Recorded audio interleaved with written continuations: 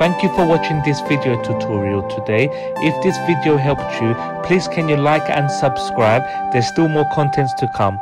Bye for now.